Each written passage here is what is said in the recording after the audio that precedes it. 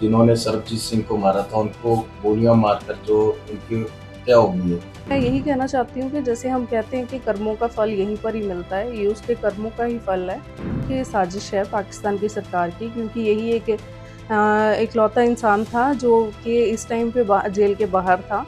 ये इंसाफ नहीं हुआ है। इंसाफ तब होता है अगर दुनिया के सामने इनका चेहरा बेनकाब होता ये हमें और प्रयास करने चाहिए ताकि एक और सरबजीत वहाँ पर ऐसी मौत ना मरे।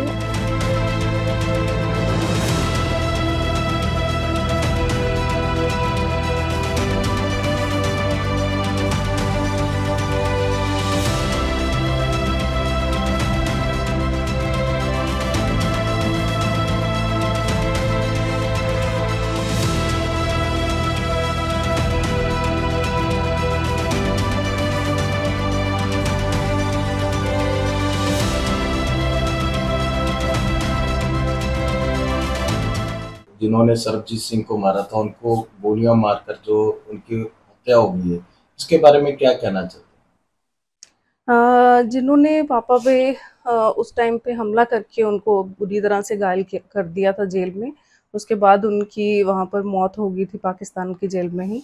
उनमें से एक जो शख्स था उसको कल गोलियों से मार के उसकी हत्या की गई है कुछ।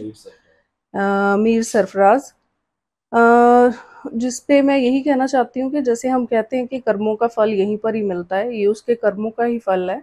लेकिन इसके साथ ही मुझे लगता है एक बहुत बड़ी साजिश भी है ये पाकिस्तान की ही सरकार की तरफ़ से, क्योंकि ऐसे हो सकता है बहुत सारे राज हों जो उनको लगता हो कि बाहर ना आ जाएँ दुनिया के सामने, क्योंकि ये भी एक पाकिस्तान सरकार की और वहाँ की एजेंसियों की ही एक मिली भुगत के जो है कारण इन्होंने एक साजिश रच के ही मेरे पापा का वहाँ जेल में कत्ल करवाया था।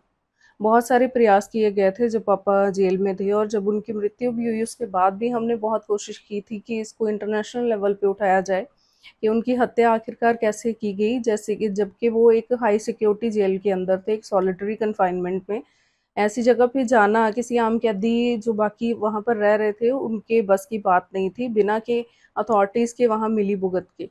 तो ये अभी भी मैं चाहती हूँ कि इसका ये जैसा कि मुझे कल भी पूछा गया था कि आपको लगता है कि इंसाफ हुआ है बल्कि मैं ये सोचती हूँ ये इंसाफ नहीं हुआ है। इंसाफ तब होता है अगर दुनिया के सामने इनका चेहरा बेनकाब होता।